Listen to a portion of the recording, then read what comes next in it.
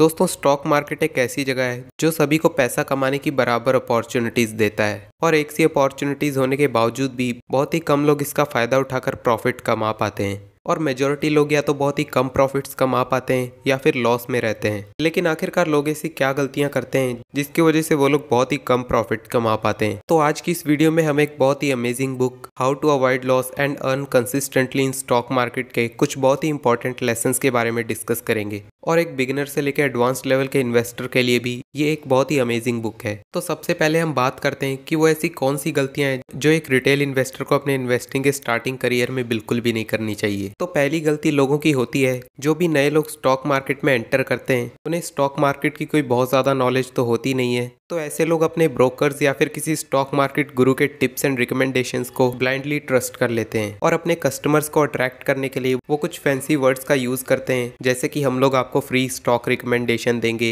और कब किस शेयर को खरीदना और बेचना है, इसकी फ्री सर्विस प्रोवाइड करेंगे। लेकिन वो लोग सिर्फ़ ये चाहते हैं कि आप ज़्यादा से ज़्यादा शेयर्स को खरीदो और बेचो, ताकि उन्हें ब्रोकरेज मिले। और अब जिस ब्रोकर के थ्रू भी इन्वेस्ट करते हो दिन भर में आपको उससे बहुत सी ईमेल्स मिलती होंगी कि आज ये स्टॉक इतना परसेंट ऊपर गया, फलाना स्टॉक इतना परसेंट क्रैश हो गया, best shares to buy, best shares to sell वगैरह वगैरह। और वो लोग कभी लॉन्ग टर्म इन्वेस्टिंग की बात करेंगे ही नहीं, क्योंकि अगर लोग स्टॉक्स को होल्ड करके बैठे रहेंगे तो उस ब्रोकर को कोई फ़ायदा होगा ही नहीं। So as a smart investor आपको अपना फ़ायदा सोचना है, ना कि अपने ब्रोकर का। और दूसरी गलती लोग करते हैं कि वो लोग स्टॉक मार्केट से रातों रात अमीर होना चाहते हैं। इसलिए वो लोग इंट्राडे ट्रेडिंग की तरफ़ बहुत ज़्यादा अट्रैक्ट होते हैं। और वो लोग ये बात बहुत अच्छे से जानते हैं कि दुनिया में जितने भी लोग स्टॉक मार्केट से अमीर बने हैं, उन्होंने अपनी सारी वेल्थ लॉन्ग टर्म इन्वेस्टिंग से ही कमाई है। लेकिन फिर भी लोग छोटे मोटे प्रॉफिट्स के लिए इंट्राडे ट्रेडिंग में इन्वॉल्व हो जाते हैं। अगर आप इंट्राडे ट्रेडिंग से एक दिन में बहुत ज़्यादा प्रॉफिट कमा भी लेते हो तो आप उससे अमीर नहीं बन जाओगे। और अगर आप ये थिंकिंग रखते हो कि आपको इंट्राडे ट्रेडिंग में कभी लॉस होगा ही नहीं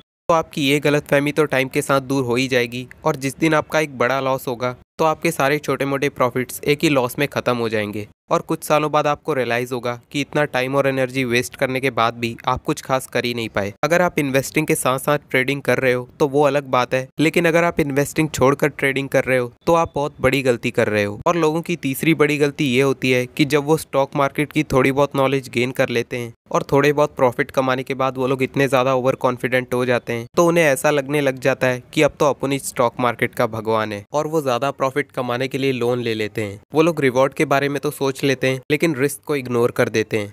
अगर आप लोन लेकर इन्वेस्ट करते हो और आपको प्रॉफिट हो भी जाता है तो आपको बहुत ज़्यादा खुश होने की ज़रूरत नहीं है। क्योंकि जिस दिन आप इस लोन के ट्रैप में बुरी तरह फंस गए तो आपका उससे बाहर निकलना बहुत मुश्किल हो जाएगा। ऐसा ही कुछ जैसे लिवर मोर के साथ हुआ था, जो एक बिलीनियर तो बन गया था, लेकिन उस पर कर्जा इतना ज़्यादा था कि वो उसे चुका ही नहीं पाया, जिस वजह से उसे सुसाइड करना पड़ा। जैसे लिवरमोर अपनी यंग एज में ही एक बहुत प्रोफेशनल ट्रेडर बन चुका था, और 30 साल की उम्र तक उसकी नेटवर्थ 100 मिलियन डॉलर हो चुकी थी, और उसने अपनी लाइफ का सबसे बड़ा प्रॉफिट कमाया था 1929 के दी ग्रेट डिप्रेशन में, क्योंकि उसने मार्केट में शॉर्ट सेलिंग की थी, इसलिए उसने एक ही दिन में तीन बिलियन डॉलर का प्रॉफिट कमाया और उसका नाम वर्ल्ड के रिचेस्ट पर्सन में काउंट होने लगा। लेकिन इस सब के बाद उसका कॉन्फिडेंस इतना ज़्यादा बढ़ चुका था कि वो ज़्यादा से ज़्यादा बैंक से लोन लेकर ट्रेडिंग करने लगा। और जब कुछ सालों बाद उसे लॉसेज होने शुरू हुए तो उसने अपनी सारी वेल्थ तो गवाई दी, लेकिन उस पर कर्जा इतना ज़्यादा था कि उसके पास सुसाइड के अलावा और कोई ऑप्शन बचा ही नहीं था। इसलिए जितना पैसा आप खुद से इन्वेस्ट करना अफोर्ड कर सकते हो आपको सिर्फ़ उतना ही इन्वेस्ट करना चाहिए। और उसके बाद आती है स्टॉक मार्केट की सबसे risky investment futures and options trading futures and option क्या होता है? इसके बारे में हम किसी और वीडियो में एकदम डिटेल में बात करेंगे। फ़िलहाल अभी आप सिर्फ़ इतना याद रखो कि ये एक very high risky and very high rewarding trading है। इसमें आप कुछ ही मिनटों में बहुत बड़ा प्रॉफिट कमा भी सकते हो, लेकिन इसमें आपका पूरा का पूरा पैसा कब डूब जाएगा, आपको पता भी नहीं चलेगा। तो एक बिगिनर इन्वेस्टर को तो इससे दूर ही रहना चाहिए, लेकिन आप फिर भी ट्रेड करना चाहते हो तो आपको सिर्फ़ वही अमाउंट ट्रेड करना चाहिए, जिसे आप भूलने के लिए तैयार हो। तो ये चार गलतियाँ एक स्टॉक मार्केट बिगिनर को बिल्कुल अवॉइड करनी चाहिए।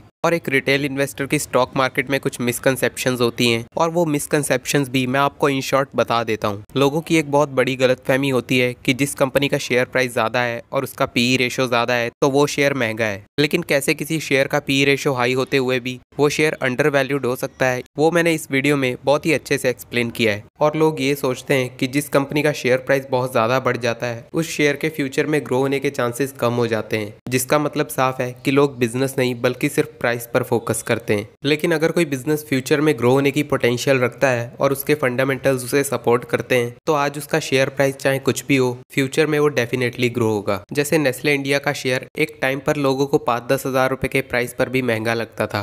लेकिन आज इसका शेयर प्राइस कहाँ है, आप अच्छे से जानते हो। लेकिन अभी भी इस बिज़नेस में इतनी पोटेंशियल है कि ये आने वाले टाइम में अच्छे रेट से ग्रो हो सकता है। मैं आपको ऐसा नहीं कह रहा हूँ कि आप महँगे शेयर्स में इन्वेस्ट करना स्टार्ट कर दो। मैं आपको सिर्फ़ इतना कहना चाहता हूँ कि आपको किसी कंपनी को उसके प्राइस से नहीं, बल्कि वैल्यूएशन से जज करना चाहिए। और प्राइस एंड वैल्यूएशन दोनों अलग चीज़ें हैं। वैल्यूएशन के बारे में हम आगे वीडियो में बात करेंगे। और रिटेल इन्वेस्टर्स के दिमाग में ये बहुत अच्छे से बैठ जाती है। जब किसी शेयर का प्राइस कम हो जाए तो उसे खरीद लो। और आपको यूट्यूब पर बहुत सी ऐसी वीडियोस मिल जाएँगी, जो आपको बताएँगे कि ये शेयर अपने 52 वीक लो पर ट्रेड हो रहा है। और इस कंपनी का शेयर प्राइस ऑलरेडी बहुत ज़्यादा कम हो चुका है इसलिए अब इसका शेयर प्राइस यहाँ से ऊपर ही जाएगा। और आप ऐसे ही किसी और के कहने पर अपना पैसा किसी ऐसे स्टॉक में इन्वेस्ट कर देते हो, जो रोज़ नए लो बनाते जा रहा है, और आप ये सोच रहे हो कि ये शेयर प्राइस एक दिन ऊपर जाएगा ही। लेकिन ऐसा भी हो सकता है कि जिस शेयर में आप इन्वेस्ट कर रहे हो, वो कभी दोबारा ऊपर जाए ही ना। इसलिए अगर आप किसी बिज़नेस को लेकर कॉन्फिडेंट नहीं हो तो फिर चाहे आपको उस कंपनी का शेयर प्राइस कितना भी सस्ता क्यों ना मिले, आपको उसमें इन्वेस्ट नहीं करना चाहिए। तो अगर आप स्टॉक मार्केट को लेकर इनमें से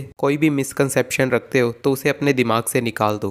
जब भी आप किसी कंपनी में इन्वेस्ट करते हो तो आपका कुछ बेसिक फंडामेंटल्स को एनालाइज करना बहुत ज़रूरी है। फॉर एग्ज़ाम्पल जिस कंपनी में भी आप इन्वेस्ट करना चाहते हो, उसका return on equity and return on capital employed पिछले पाँच सालों में एटलीस्ट ट्वेंटी परसेंट का होना चाहिए। अगर उस कंपनी का return on equity and return on capital employed अच्छा है, इसका मतलब है कि वो कंपनी कैश को सही से यूटिलाइज कर पा रही है और उस कंपनी पर कर्जा कम से कम होना चाहिए। इसके लिए आप डेट टू इक्विटी रेशियो का यूज़ कर सकते हो। जिस कंपनी में भी आप इन्वेस्ट करना चाहते हो, उसका डेट टू इक्विटी रेशियो हमेशा एक से कम होना चाहिए। और अगर एक कंपनी के लिए सबसे इंपॉर्टेंट कुछ है तो वो है उसकी सेल्स ग्रोथ और प्रॉफिट ग्रोथ जिस कंपनी को भी आपने चूज़ किया है मेक श्योर sure उसकी सेल्स ग्रोथ पिछले तीन सालों में मिनिमम टेन परसेंट के CAGR से ग्रो हुई हो और उसकी प्रॉफिट ग्रोथ भी पिछले तीन सालों में कम से कम 15 परसेंट तो होनी ही चाहिए। और आप जिस कंपनी के भी फंडामेंटल्स चेक कर रहे हो मेक श्योर sure आप उसे उसकी सेम इंडस्ट्री की कंपनी के साथ कंपेयर करो। कहीं ऐसा ना हो कि आप एक एन कंपनी में इन्वेस्ट करना चाहते हो और आप उसे कंपेयर FMCG कंपनी के साथ कर रहे हो। लेट से आपको एक अच्छी कंपनी मिल जाती है, लेकिन उस कंपनी को सही वैल्यूएशन पर खरीदना भी ज़रूरी है। क्योंकि अगर आप एक अच्छे बिज़नेस को बहुत महँगे प्राइस पर खरीद लोगे तो आप फ्यूचर में बहुत कम प्रॉफिट कमा पाओगे। तो जितना ज़रूरी किसी अच्छे बिज़नेस को खरीदना होता है, उतना ही ज़रूरी है कि उस बिज़नेस को सही प्राइस पर खरीदा जाए। ऑथर के अकॉर्डिंग जो कंपनीज़ अपने पिछले पाँच साल के average P and PB ratio से कम पर ट्रेड हो रही होती हैं, और उनका पैग रेशियो एक से कम होता है तो ऐसी कंपनीज़ अंडर वैल्यूड होती हैं। पैग रेशियो का मतलब होता है P ratio divided by earnings growth अगर उस कंपनी का पैग रेशियो एक से कम है तो इसका मतलब उस कंपनी में अर्निंग्स ग्रोथ ज़्यादा होने के बावजूद भी वो कंपनी सस्ते वैल्यूएशन पर अवेलेबल है। लेकिन इसका मतलब ये नहीं है कि आप ब्लाइंडली ऐसी कंपनी में इन्वेस्ट कर दो। तो ये कंपनीज़ अंडर वैल्यूड इसीलिए होती हैं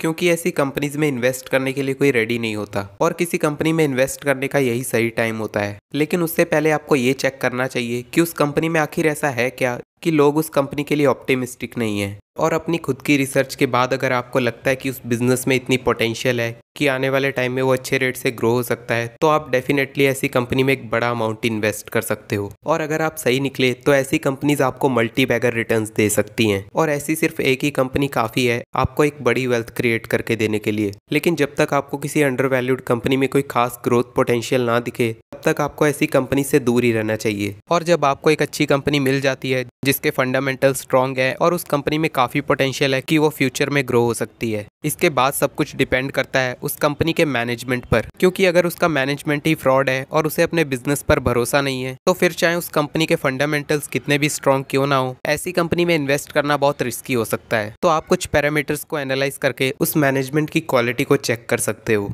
जैसे उस कंपनी की प्रोमोटर होल्डिंग जिस कंपनी में भी आप इन्वेस्ट करना चाहते हो, उसकी प्रमोटर होल्डिंग थर्टी परसेंट से ज़्यादा होनी चाहिए। कुछ रेयर केसेस में थर्टी परसेंट से कम भी हो सकती है, लेकिन मेजोरिटी कंपनीज़ में प्रमोटर होल्डिंग 35 परसेंट से ज़्यादा होनी चाहिए। अगर प्रमोटर्स होल्डिंग 35 परसेंट से कम है तो इसका मतलब कंपनी के प्रमोटर्स को इस बिज़नेस पर कॉन्फिडेंस नहीं है। और जब प्रमोटर्स कोई अपनी कंपनी पर भरोसा नहीं है तो भला आप ऐसी कंपनी में इतने कॉन्फिडेंस के साथ कैसे इन्वेस्ट कर सकते हो? अगर प्रमोटर्स उस कंपनी में अपना स्टेक इंक्रीज कर रहे हैं तो ये एक पॉजिटिव साइन है, जो दर्शाता है कि प्रमोटर्स उस कंपनी के फ्यूचर को लेकर काफ़ी कॉन्फिडेंट है। लेकिन जस्ट इसका अगर प्रमोटर्स होल्डिंग कंटिन्यूसली कम होती जा रही है तो या तो वो कंपनी कोई बड़ी प्रॉब्लम फेस कर रही है, या फिर फ्यूचर में फेस करने वाली है। अगर प्रमोटर्स होल्डिंग एक दो परसेंट से कम हुई है तो इसमें कोई बड़ा इशू नहीं है। हो सकता है प्रमोटर्स ने बिज़नेस पर्पसेस के लिए अपना स्टेक सेल किया हो। लेकिन अगर प्रमोटर्स होल्डिंग एक बहुत बड़े रेशो के साथ और काफ़ी स्पीड से कम हो रही है तो आपको ऐसी कंपनीज़ की अच्छे से रिसर्च करनी चाहिए। कहीं ऐसा ना हो, जिस कंपनी से प्रमोटर एग्जिट हो रहे हो, आप ऐसी कंपनी में इन्वेस्ट कर दो।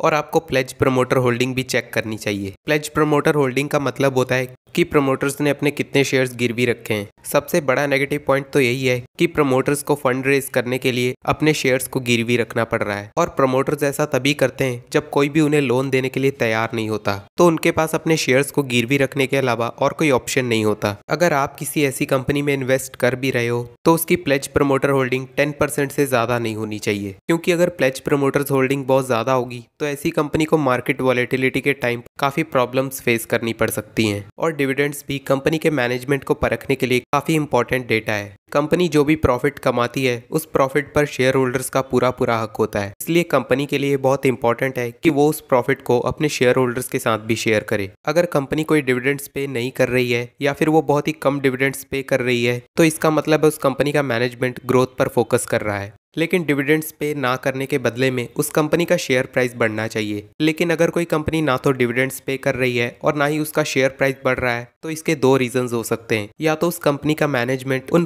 प्रॉफिट्स को सही से यूटिलाइज नहीं कर पा रहा है या फिर उन्हें अपने शेयर होल्डर से कोई मतलब ही नहीं है। इस सब के अलावा रिटर्न ऑन इक्विटी आपको मैनेजमेंट की एफिशिएंसी के बारे में बताता है। जैसे कि मैं आपको पहले भी बता चुका हूँ कि 20 परसेंट का रिटर्न ऑन इक्विटी काफ़ी अच्छा होता है, लेकिन किसी भी हाल में रिटर्न ऑन इक्विटी 15 परसेंट से कम नहीं होना चाहिए, क्योंकि रिटर्न ऑन इक्विटी अगर 15 परसेंट से कम है तो इसका मतलब उस कंपनी का मैनेजमेंट शेयर होल्डर्स के पैसे को सही से यूटिलाइज नहीं कर पा रहा है। अगर आप रिटर्न ऑन इक्विटी को इन डेप्थ एनालाइज करना चाहते हो तो आप इस वीडियो को देख सकते हो। और सबसे लास्ट है कि आप अच्छे शेयर्स को खरीद तो लेते हो लेकिन आखिर उन्हें सेल कब करना चाहिए? तो जब आपको लगे कि जिन शेयर्स में आपने इन्वेस्ट कर रखा है और मार्केट आपको उससे अच्छी अपॉर्चुनिटीज़ दे रहा है तो ऐसे टाइम पे आप अपने शेयर्स को सेल करके उन अच्छी अपॉर्चुनिटीज़ की ओर मूव कर सकते हो। इन केस अगर आपको लगे कि आपका इन्वेस्टमेंट डिसीज़न रॉन्ग था तो उस केस में भी आप अपने स्टॉक्स को सेल कर सकते हो। जिस कंपनी में आपने इन्वेस्ट किया था, अगर उसके फंडामेंटल्स और मैनेजमेंट चेंज हो चुका है और आप उसके मैनेजमेंट को लेकर डाउटफुल हो तो आपको ऐसी कंपनीज़ के शेयर सेल कर देने चाहिए, लेकिन अच्छे से एनालिसिस करने के बाद। लेकिन अगर सब कुछ ठीक चल रहा है और आपको लगता है कि आपको अपनी इन्वेस्टमेंट से आगे भी ऐसे ही अच्छे रिटर्न मिलते रहेंगे तो इस केस में आपको अपने स्टॉक्स को सेल करना चाहिए या फिर नहीं? तो मुझे ऐसा लगता है कि जिस पैसे की आपको आने वाले चार से पाँच सालों में ज़रूरत पड़ सकती है, उतना पैसा आपको अपनी इन्वेस्टमेंट से निकाल लेना चाहिए और बाकी पैसा आपको इन्वेस्टेड रहने देना चाहिए, ताकि आप टाइम के साथ साथ कंपाउंडिंग की हेल्प से और ज़्यादा अमीर होते जाओ। तो दोस्तों, ये थे इस बुक के कुछ इंपॉर्टेंट लेसन अगर आपको ये वीडियो पसंद आई हो तो इसे लाइक करो और मेरे इस चैनल को भी सब्सक्राइब कर सकते हो, ऐसे ही एजुकेशनल वीडियोज़ और देखने के लिए। Thanks for watching this video and bye